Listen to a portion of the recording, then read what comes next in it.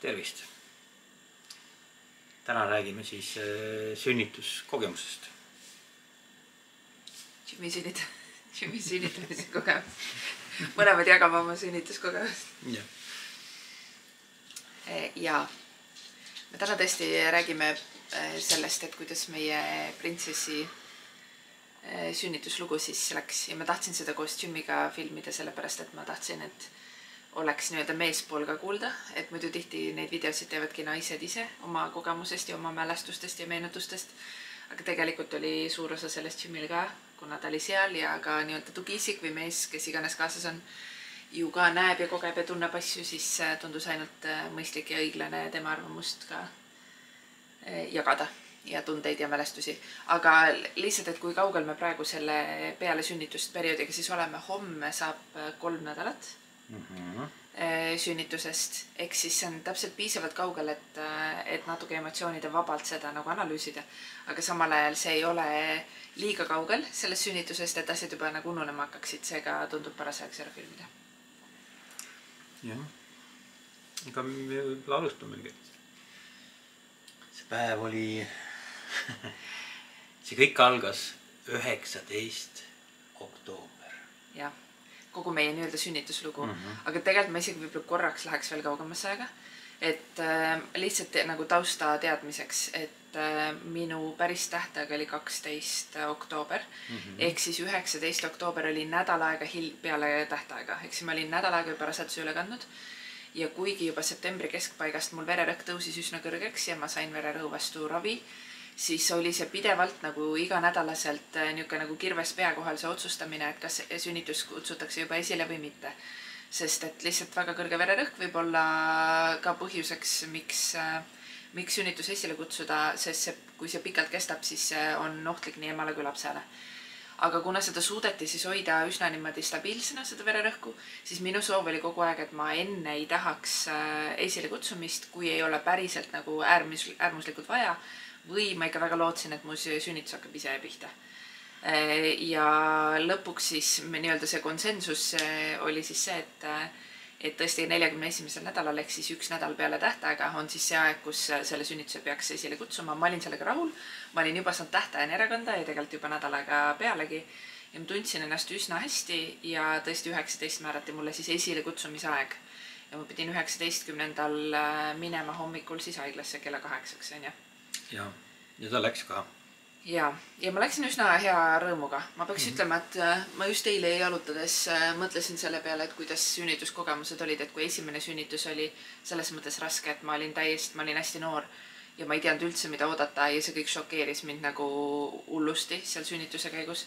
siis teine kord ma tegelikult hullult kartsin seda sünnitust, sellepärast et see esimene kord oli nii äh, valus ja šokeeriv ja õudne ja siis kuidagi läks nagu nii noh see tegelikult ei läinud mul halvasti, mõlemad esimesed sünnitused läksid mul hästi, aga lihtsalt see ongi raske, see ongi üks sihuke asi, mida sa tegelikult ei taha nagu näkku kogeda, onju. ja teine kord ma juba ka teadsin, mida oodata ja see tekitas minus nagu ärevust hirmu, aga nüüd kolmas kord ma tundsin tegelikult ennast kõige nagu kindlamalt. tegelikult ei olnud ju, ma ei olnud väga nagu hullult mingi hirmul ega midagi. sellepärast, et seekord oli kuidagi lihtsam, ma mõtlesin, ma olen kaks korda seda juba teinud. ma igal juhul elan selle üle, ma teadsin loomulikult nagu mõistus ütles, et see ongi raske ja valus ja üsna õudne ja mingil hetkel sul on tunne, et sa tahaksid minema jalutada ja soovid selle ürituse pooleli jätta, aga ma juba teadsin seda kõike ette, ma sain ennast selleks ette valmistada. ja ma kuidagi ei kartnud seda, et pigem oli tunne, et kui see hakkaks juba pihta, siis oleks iga hetk juba lähemal sellele, et see oleks tehtud. et nagunii see tuleb läbi elada, seega võiks juba nagu alata. nii et üheksateist hommikul Jimmy viis ma haiglasse, ma olin väga õnnelik ja rõõmus ja valmis esilekutsumiseks. Hommikul viisin ta haiglasse. siis ütlesin, anna iga kord teada, mis on ja kuidas läheb, et siis ma saan äh, tulla ka sinna, et mul pole mõtet seal olla seal kohapeal, ma teen kodus siin remonti ja teen asju ja toimetan sinna. ja tulin koju ära, telefoni panin äh, heli kõvemaks siis läks, toimetasin, läks tund mööda, läks kaks tundi mööda, ei kip- kõppu ega ki- kippu. siis võtsin ühendust, kuidas läheb, siis ta ütles, läheb.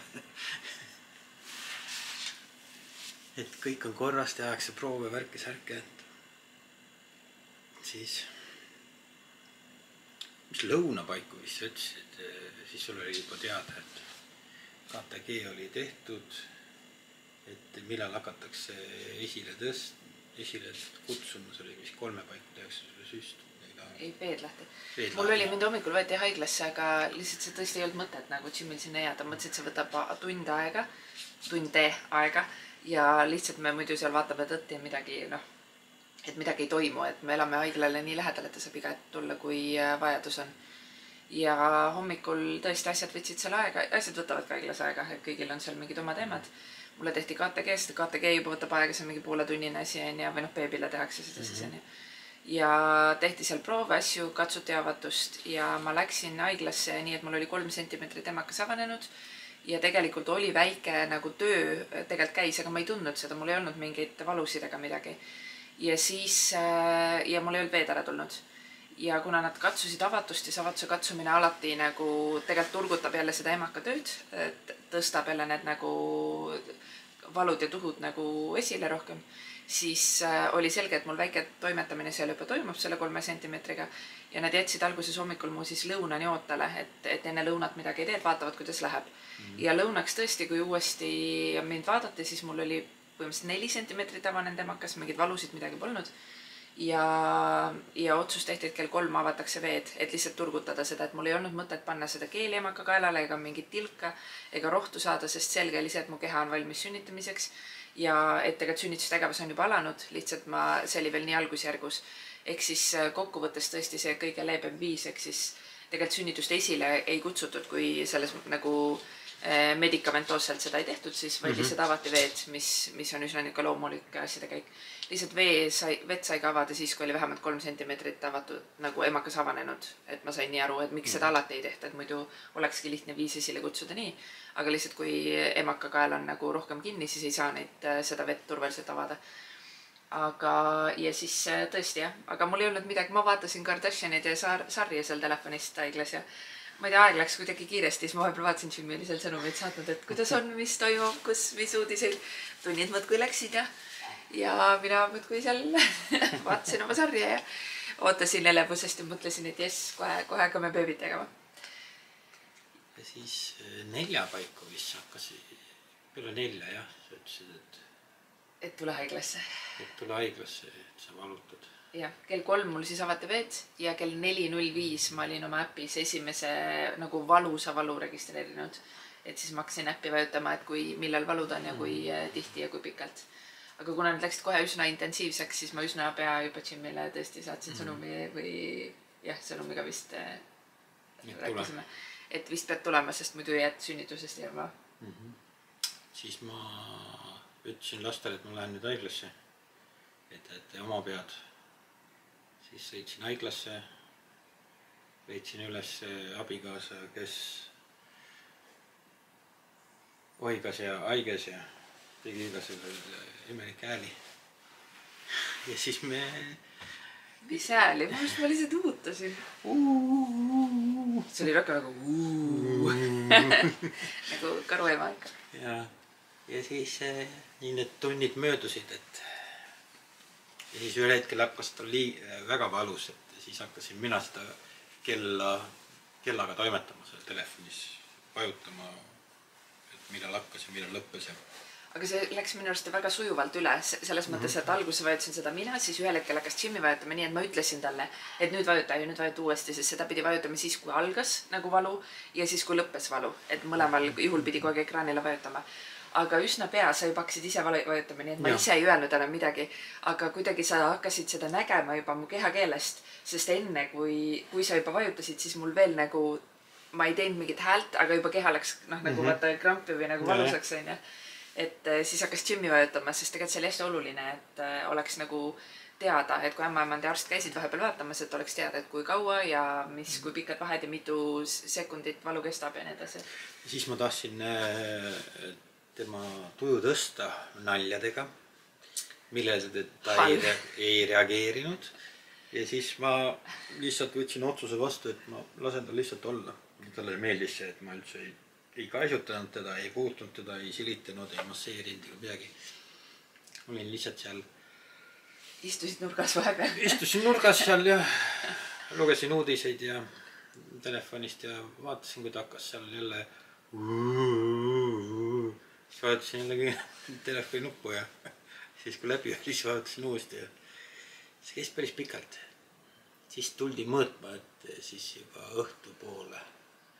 Põhimõtteliselt terve see aeg seal mingi neljast kuni kaheksani, üheksani jah, oli see üks tegevus ja siis tuldi, mõõdeti, öeldi, et kaheksasada senti on sul avanenud. kella üheksaks jah, õhtul. ja siis, mina olin, jaa kas nad tahtsid teil süsti teha või mingisugust või?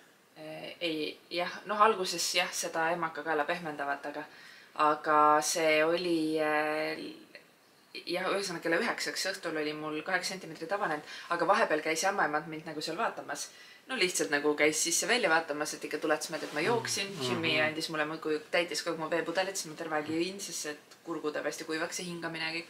ja haiglas ongi kuiv õhk ja siis äh, ämmaemand ka seal soovitas, et Jimmy, sa saad Sallile teha massaaži, et tal oleks lihtsam ala seljale ja siis sa saad, ma ei tea, võtta ta ümbert kinni ja lasta tal enda peal kõikuda ja ma tahtsin ainult ruumi ja rahu, ma ei tahtnud, et keegi mind puudutaks, mul oli nagu, et ei, ma ei taha nagu mingit, ilmselt ongi inimeste see vajadus sel hetkel on hästi erinev, vaata mõni tahab hästi nagu mingit, ma ei tea, kätt, mida pigistada ja midagi. ma tahtsin, et mulle antakse, et mul see per- personal space oli nagu üsna suur ja ma tahtsin, et mulle antakse vaikust ja rahu ja ruumi et ma saaks ise olla ja ise toimetada ja olla nii, nagu mina tahan, et ma ei tahtnud kellegi nagu mingeid noh, mingeid soovitusi, veel vähem mingeid puudutusi, aga ma tegelikult valutasin nagu erinevaid viise, et mm -hmm. pikali ma ei saanud üldse olla, ma olin peamiselt püsti või siis põlvili voodi ees. niimoodi, et käed olid selle sünnituslaua peal ja siis vahepeal seal all oli see padi, mis jah, see mm, beanbag, beanbag oli jah all. kotttool siis, kotttooli Jimmy pani saab- maha, et ma saaks põlvedega sinna peale minna, et ma ei saaks, ei peaks põranda peal põlvili olema. et siis oli kuidagi mugav olla ja, ja kergem olla. Aga kella üheksaks tõesti oli kaheksa sentimeetrit avanenud e- emakas ja mul oli jumala hea meel, sest ma mõtlesin, et siis on nagu lõpp juba paistab, onju. kohe tuleb, noh paari tunniga, et sel Sest-, sel kuupäeval tuleb välja. ja üsna nii oligi, sest ka eelmised sünnitused mul kaheksa sentimeetri pealt umbes, mul läks süda pahaks ja ka sel korral ma oksendasin. ehk siis ma teadsin, et lõpp on hästi lähedal, sest ikkagi keha nagu reageerib täpselt minu arust nagu samamoodi eelmistele kordadele ka onju. et juba tunned ära nagu mingeid asju, mis on enne olnud. Aga huvitav oli see, et umbes sel ajal ma hakkasin vaata ütlema, et, et et midagi on pahasti, sest kui mul on valu, et mul tekib minestustunne mm. -hmm. mäletad jah. seal voodi peal nagu hääledes, ehk siis ühel hetkel ma tegelikult seal umbes sealmaal sain aru, et midagi on teistmoodi, kui on varem olnud. ma ei teadnud, mida see tähendab, aga millegipärast valu lõpus, et noh, valu kestab seal, ma ei tea, nelikümmend, viiskümmend sekundit onju.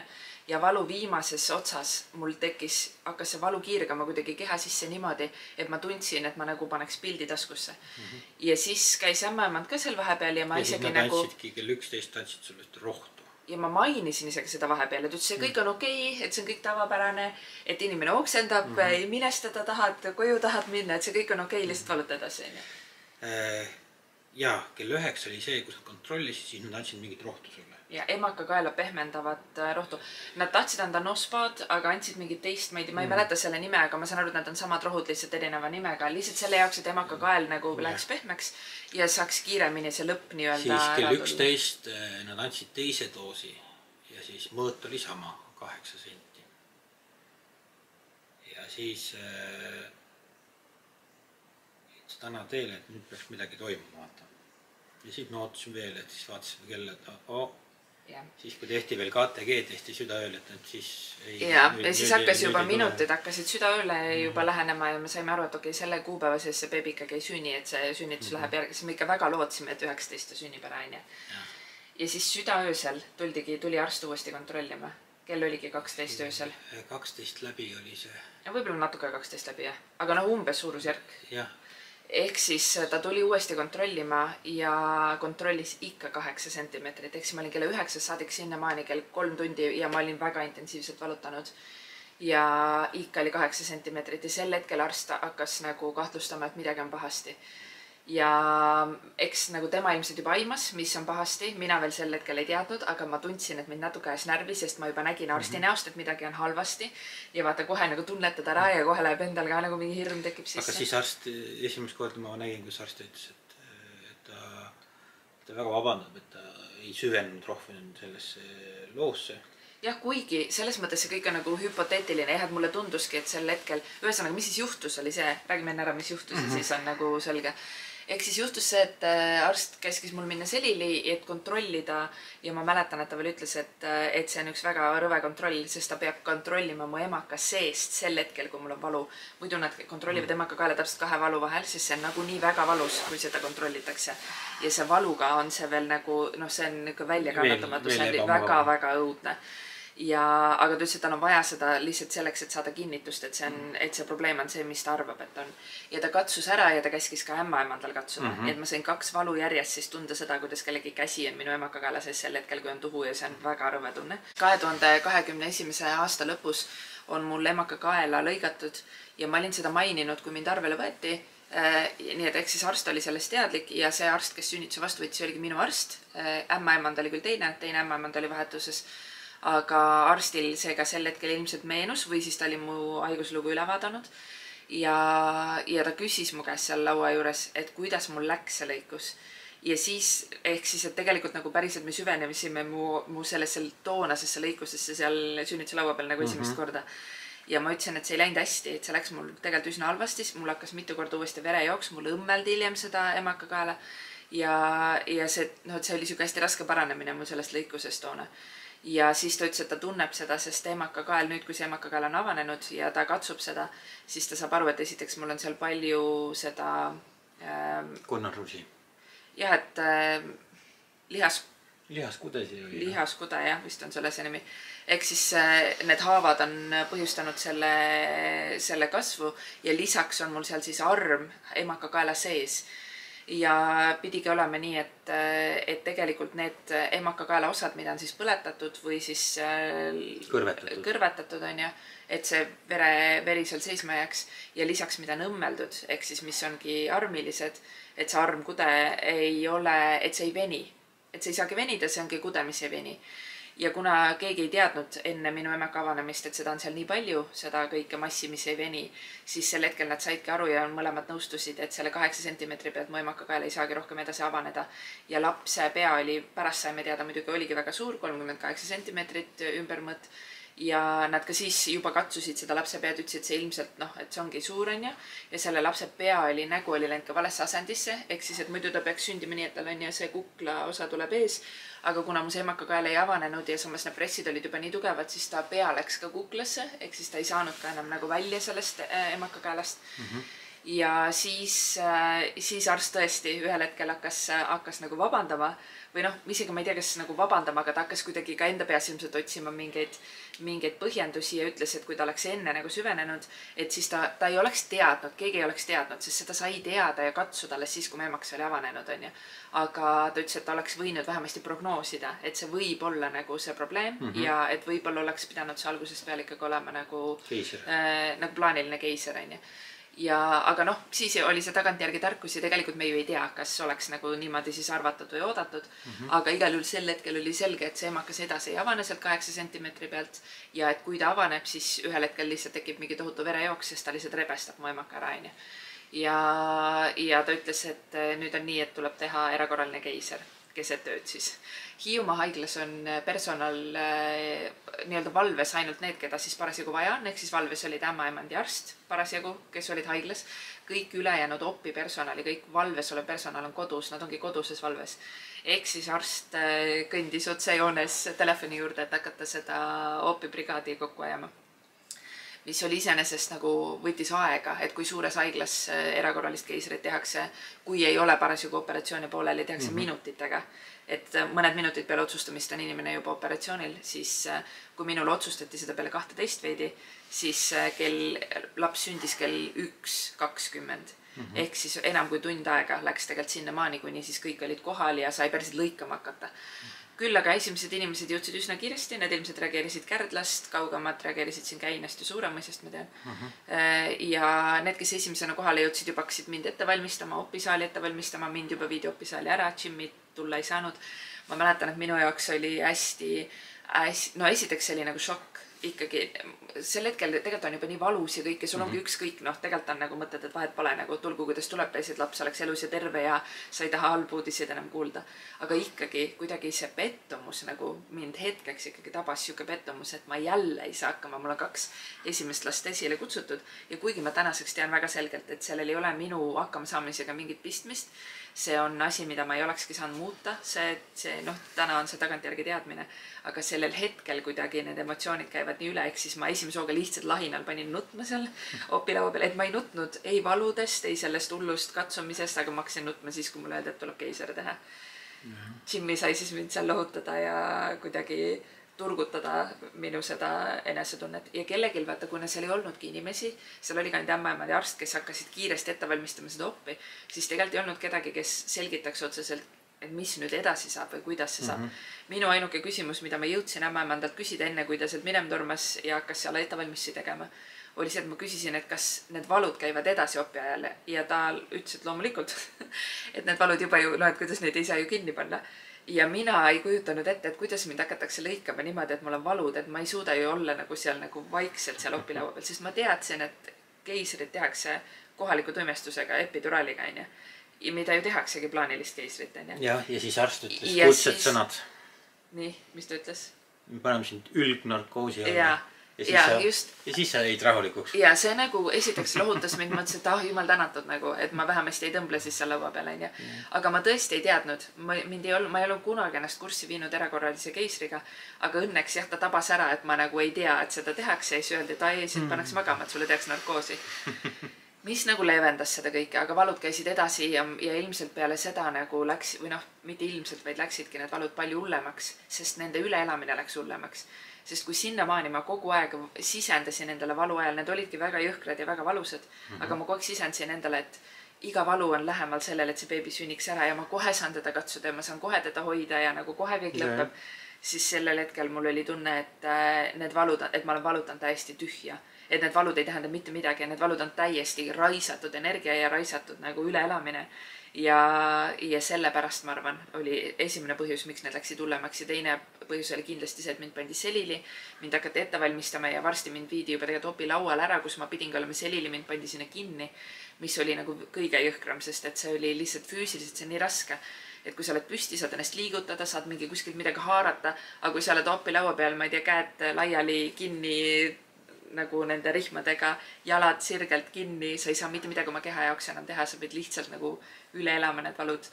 see oli päris äh, raske. aga need olid ju sinu tervise ja lapse loomulikult olidki, absoluutselt, et, et ma saan aru, et seda tehaksegi põhjusega, et selles mõttes ma üldse kuidagi ei bash'i nagu kedagi. et see ongi see reaalsus, noh, et see ongi, et asjad ühesõnaga ei läinud lihtsalt nii, nagu ma lootsin. ja ilmselt minu peas oligi kõige raskem see, et ma olin oma peas mingi kujuteldava mingi ideaalse sünnituse välja mõelnud ja siis kõik läks nagu vastupidi, ehk siis äh, see keiser oli see, mida ma üldse ei tahtnud ja selle ma sain, onju. ja sealt kuidagi kõik asjad läksid nagu allamäge emotsionaalselt, aga tegelikult füüsiliselt läks ju kõik hästi. ehk siis tegelikult see oligi ainuõige otsus, kõike tehti nii kiiresti kui võimalik oli. inimesed olid ülitoredad, mind veeretati sinna opisaali ja, ja nii kui inimesed hakkasid järjest tulema, siis need opisaalis olevad inimesed tulid minuga rääkima noh, neil olid kõigil maskid, prillid, mütsid, ehk siis ma tegelikult täna ei teagi, kes need inimesed olid, sest ma ei tunne neid ära nagu silmade järgi onju mm. -hmm. ja, ja nad tulid nii ilusasti rääkima, et ma ei tea, opiõde seal tuli, tutvustas ennast, ütles, mida ta teeb, mida mulle tehakse, mis ravimeid pannakse, mis järjekorras midagi toimub, mis siis saab, kui ma üles ärkan ta oli nii südamlik ja armas ja ilusasti rääkis ja mul oli nagu nii savi et mul oli päriselt, see on nii õudne on öelda, aga sel hetkel, kui sa oled nagu valudes ja sa oled väsinud ja sul on kõik, siis on täitsa nagu, sul on ükskõik, kas need inimesed räägivad sinuga või mitte või sa lihtsalt tahad, et see saaks läbi. aga tegelikult ma tunnen ennast selles mõttes nagu halvasti, et need inimesed tegid nagu absoluutselt kõik, et kõik saaks nagu kiiresti ja valutult ja lihtsalt. Ja nad olid minuga väga lahked ja head ja nad ju tulid nii kiiresti, kui nad said ja ma olen üdini tänulik, sest kõik läkski tegelikult imehästi, onju. nagu kokkuvõttes nii mm -hmm. hästi, kui selles olukorras sai minna. aga sina pidid jääma välja, onju. mind ja. veeretati sealt ära, mina ei teagi, mis seal vahepeal sai, sest mina, ma tean, et min... kokku läks umbes tund, onju. kui sind viidi ära sinna lõikusesse, siis mind pandi koridori peale, diivani peale, ütles, et sina nüüd oota siin, kuni tullakse ja antakse laps üle ma ei tea, kui palju me seal ootasime, ma minuteid ei lugenud, aga siis ühel hetkel äh, tuldi, laps oli mähitud teki sisse ja oli laps olemas. siis nad eh, mõõtsid teda, puhastasid teda, mähkisid, tegid kõiki siukseid asju ja siis eh, mähiti jälle laps sisse ja anti minu kätte. siis ma natukene istusin seal põranda peal selle sama selle Kott oli. kotttooli peal. see sünnituspalat on väike. no sünnituspalat ei ole, ta ongi sünnitajate palat on see väike. siis, aga seal ma olin ka mingi kümmekond minutit koos lapsega. Aga ta ei karjunud, tal ei olnud midagi, ta lihtsalt oli. ma tean, et laps hästi kiiresti, pärast mulle seda noh räägiti, et kui narkoosi alguses see laps võetakse hästi kiiresti välja, see võtab kolm-neli minutit ja ta on juba väljas ja juba nabanöör läbi lõigatud. ja ma saan aru, et see, see üks osa sellest põhjusest ongi see, et see narkoos ei jõuaks ka lapseni. ehk siis, et see peabki käima hästi kiiresti, see lapse väljavõtmise protsess ja pärast siis, kui see laps on välja võetud, siis, siis see ema lappimine on see pikk protsess, ehk siis kolmveerand tundi umbes võtab aega kogu see kokkulappimine tagasi. aga lapsega välja, ma tean, läksid, kuna seal personali oli palju, ma ütlen mingi kümmekond inimest oli seal operatsioonil, ämmaemand ja. ämmaemand ja lastearst jah. et äh, lastearst ka tuleb siis erakorralise keisrile siin alati ja nemad siis olid need, kes võtsid nii-öelda beebi sealt äh, opisaalist ja tulid temaga siis välja toimetama. aga samas see on nagu hästi tore, et sa said olla seal juures, kui nad ju kaalusid ja mõõtsid mm -hmm. ja kõike, et et ta toodi opisaalist välja ja siis juba isa sai nagu kõikide protseduuride juures olla, sest ju mind ei olnud, onju. ja siis mingi hetk toodi sind sinna, veeretati kohale. siis olid seal hägune olid seal ma olin ikka täiesti laksul.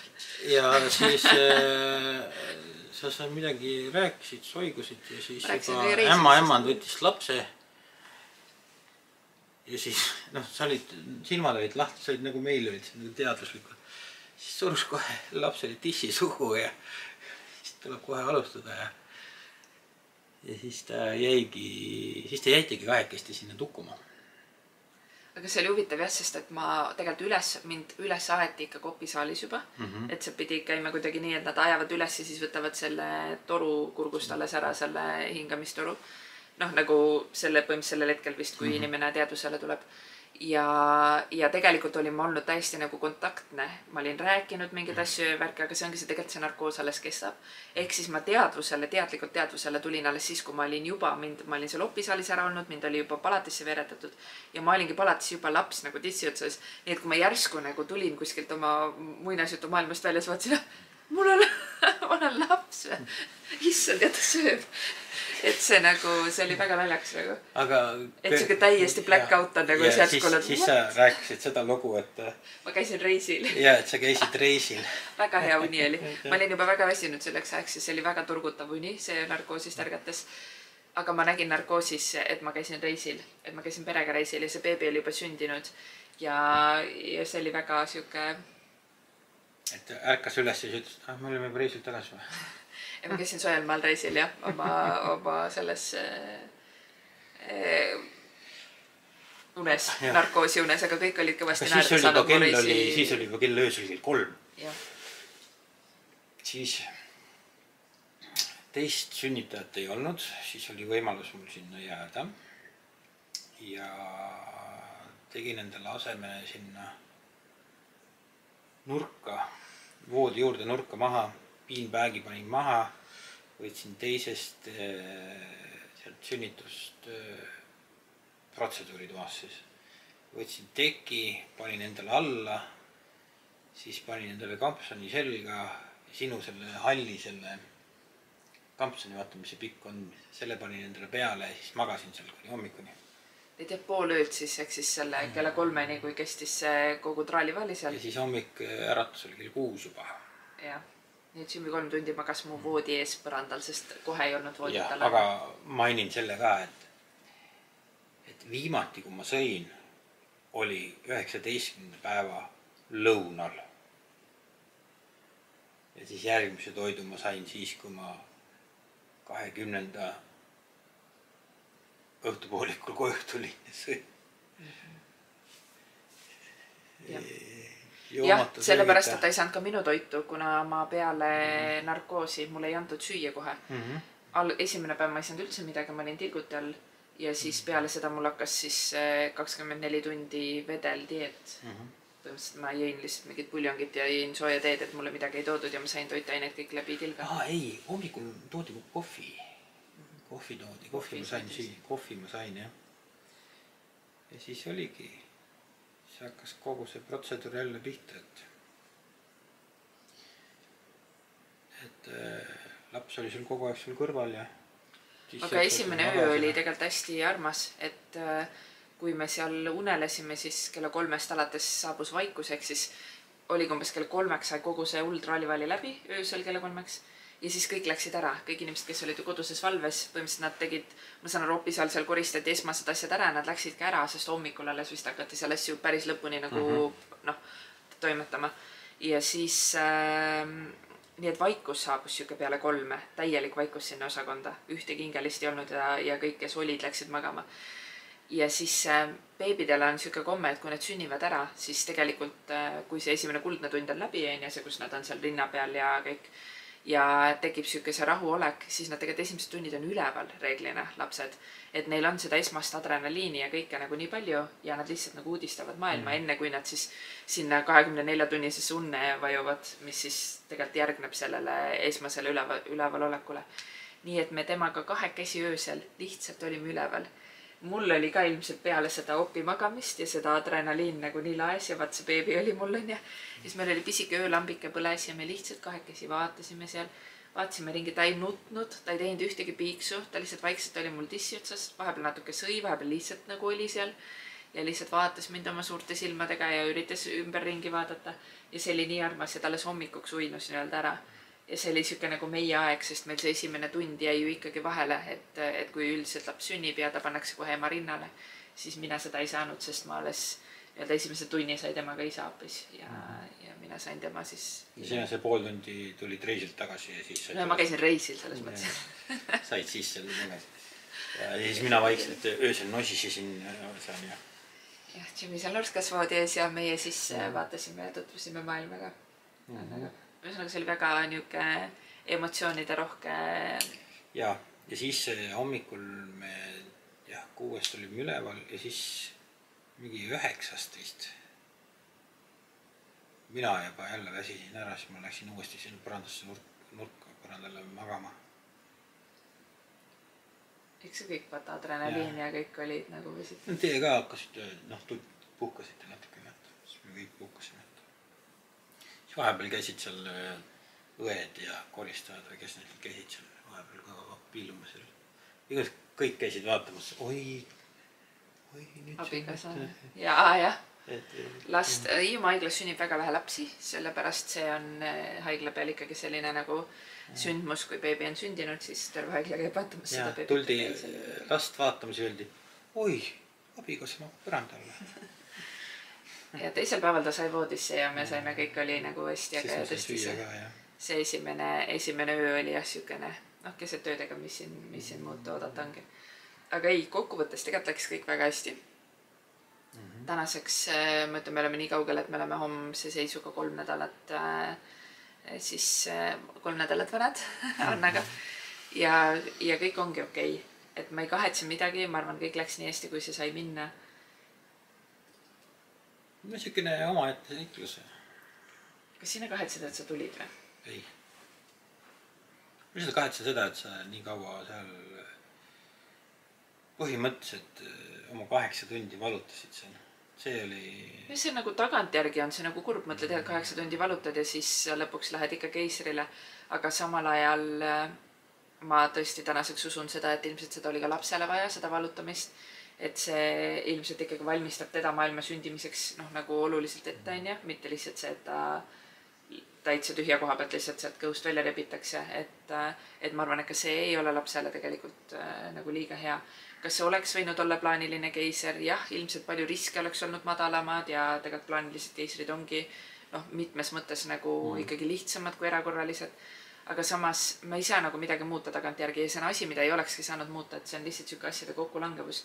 aga ma olen üdini tänulik sellele, et see üldse avastati, et see ei läinud nii kaugele, et mul oleks midagi rebenenud ja ma oleks pidanud, ma ei tea, kopteriga PERH-i sõitma, onju. ja et me oleme täna elus ja tegelikult terved, et mina olen tervenemise teel. mul on juba tegelikult ikkagi üsna hea, et äh, eks see keise, keisrihaav ja kõik peavad veel paranema. ja noh, Hannal on kõik ju imehästi ja samas ma ei kahetse üldse seda ka, et ma nii kaua lasin tal üle kanda, et, et päris palju olen saanud ka inimeste käest küsimusi, et oh, et kui juba taheti ammu esile kutsuda, et miks see nii nagu, et miks ma nii kaua vastu olin sellele. aga tegelikult ta sündis, ta oli üsna suur, ta oli neli kilo ükssada kuuskümmend viis grammi mm -hmm. ehk siis peaaegu neli koma kaks kilo, viiskümmend kolm sentimeetrit. ei olnud. viiskümmend kaks. viiskümmend kaks. viiskümmend kaks sentimeetrit ja, ja ta on ikka sihuke nagu korralik tükk, nagu ikka sihuke nagu tummine tükk, juba kandis pead, kui ta oli sündinud ja kõik sihuke imes juba ilusti oma toitu ja et tal oli nagu jõudu, ta ei olnud sihuke mingi väike äbarik, kes ei saa maailmas hakkama. ehk siis tegelikult mulle endale tundus, et sellise lapsega on palju lihtsam hakkama saada, kui ta on ise juba sihuke nagu kobedam ja ta ei ole sihuke väga ädine. et kui noh, selles mõttes, et kui on võimalus üle kanda, sihuke nädalakene on ju. siis on see, see on natukene emale on see positiivne, sest laps nagu juba ta on rohkem arenenud ja tal on rohkem jõudu toimetada, teha seal siin uue eluga. kui see, kes kas varem sünnib või siis sünnib, kui on tähtaeg ma saan aru, et ilmselt kui on rasedus väga raske mm, -hmm. et siis vaata, oled lõpus juba väga väsinud ja kõik mm -hmm. ongi väga nagu halvasti.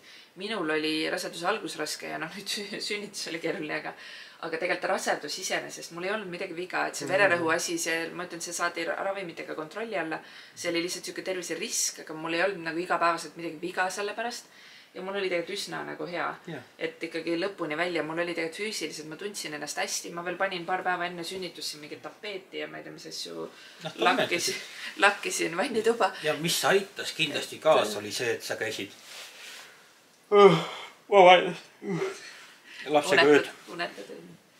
et sa käisid jõusaalis, isegi siis, kui sa nii kaua, kuni alguses lubas käia raseduse ajal jõusaalis. peaaegu raseduse lõpuni jah, käisin ikkagi Jah. väga aktiivselt trennis. kellel on võimalus, siis käige ka, et ei pea palju tegema seal. noh, loomulikult mitte kõhtuga, alaselga, lihtsalt jalgu, mis on kindlasti vaja. siis eh, kui on võimalus, siis käsi. siis kui on võimalus veel eh, noh, siin noh, igas muud grupid, mida te suudate teha, on ju. kõik inimesed rasedus on erinevad, et kui te suudate, siis eh, maksimaalse raskusega mitte, aga siukse keskmise raskusega arendada oma lihaseid, et see parandab ka ja tõstab teie seda püsivust olla toimekas raseduse ajal. et see on väga hea ja tänu sellele, et ta käiski võrreldes eelmistega ja praeguse, et sa käisid jõusaalis, sa arendasid oma lihaseid ja kasvatasid neid. et see andis sulle ka jõudu rohkem jaksu olla. Sa jaksasid rohkem kui eelmistega. Ja ma pean ütlema, et peale seda sünnitust ma olin üdini tänulik, et ma olin jõusaalis käinud, sest peale seda, kui kõht on nagu lõhki lõigatud, siis sa ei saa enam kõhulihaseid kasutada. Ja, ja noh, üldse nagu paljud lihased on täiesti no-go. Ja kui ma üritasin ennast püsti vinnutada, siis ma olin ikka väga-väga siiralt tänulik, et mul olid jalalihased ja üldse mingid muud kerelihased, mis aitasid mul vetsupoti pealt näiteks tõsta, noh nagu naljakad asjad, aga täiesti elulised asjad onju. et ma just päriselt nagu esimesed korrad vetsus käies peale oppi ma mõtlesin, et kui, kui ma ei oleks trennis käinud, siis ma täna ei kujutaks ette, kuidas ma üldse hakkama saaksin.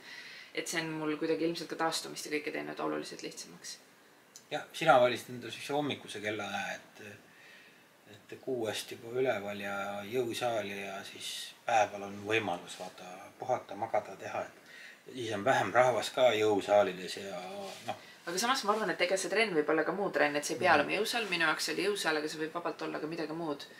see võib äh, olla mis iganes, ma ei tea, jalutamine, ujumine, mis iganes muu treening. Aga lihtsalt, et aktiivset eluviisi ma tõesti soovitan jah, et kes rase on, siis, et kunagi ei ole hilja alustada ja mina, ma ütlen, et ma alustasin oma jõusaalis aktiivselt käimisega siis, kui ma olin rasedaks jäänud. ehk siis ma enne rasedust ei olnud mingi hull jõusaali guru üldse. ma olin kõige ebasportlikum inimene tõenäoliselt, keda Hiiumaa iialgi näinud on. aga rasedaks esimest korda käisid jõusaalis või? ei käinud elus esimest, aga noh, ikkagi üle väga paljude aastate esimest ja esimest korda Hiiumaa jõusaalis küll Jah. jah. et, et selles mõttes äh, ja et ma alustasin siis, kui ma olin rasedaks jäänud, seega mitte kunagi pole hilja. et see ei ole vabandus, et ma ei saa nüüd trenni minna, sest ma olen rase, saad küll, kõik saavad. kõik saavad, sa ei pea nii palju tegema, lihtsalt eh, see aitab pärast kaasa. ma pean käima pritsissi juures. me reklaamipausi ei tee, me toome selle reklaamipausi siia, näitame rahvale, et, et kui võimalus on, siis eh, loomulikult käia ja liigutada ennast. Sul pärast on parem. sest pärast on niikuinii oled sa väsinud ja siis sa, su keha ju kaandubki sellele, et nad eh, pigem ootavadki, et lihased hakkavad oma vilja kandma ja toimetama ja see rasedus see lõpp, see üks ööpäev söömata ja magamata, see, see on seda rõõmu väärt tegelikult. Et eh, isegi koer on vastu võtnud väikse lapse, kuule, et sa ka siinkohal äh, me läheme oma päevakavaga Jaa. kavaga edasi või aitäh, et sa tulid. mm? -hmm. see on meie väike Hanna, kes see näeb veel siin? ta kes, tudub veel. kes tegi just silmatahtega, nüüd kui ma ta siia tõin, ta selle aja peale jäi juba magama. nii et homme saame siis kolme nädala sünnipäeva tähistada ja ja igal juhul kõigile, kes on, kes on siis rasedad, soovin teile rõõmsat sünnitamist. keegi soovis ka mulle rõõmsat sünnitamist, kui mina rase olin ja ma, ma pidasin seda meeles siis ka, kui olid valud ja ma olin seal sünnitamas mm. -hmm. sest ma kogu aeg mõtlesin, ma pean olema rõõmus, sest et äh, rõõmus sünnitus ongi kõige ilusam sünnitus, mis üldse, mis üldse võimalik on. aga jaa, see, et me tahtsime näidata tegelikult rahvale seda originaalsünnituse värki, särki, aga see olude sunnil äh, läks meist nii mööda ja jäi kuskil tahaplaani, et me toimetasime iseenda, enditega. tõsi, tegelikult meil oli kaamera isegi kaasas, aga me tõesti sellepärast ei filminud, et see kõik kuidagi läkski kiiremini ja dramaatilisemalt, kui me ootasime, nii et mm. -hmm. seekord siis nii. aga jaa, kõik oli väga reaalne, meie jaoks oli reaalne. aga selge, me siis selle väikse kuratükikesega siin toimetame edasi. mul on nüüd öö, paar viimast päeva veel siin puhata ja siis ma pean töölainele minema. ja siis need tüdrukud jäävad kahekesti koju. aga meeldivat päeva jätku teile. näeme järgmisel nädalal. tšau. tšau.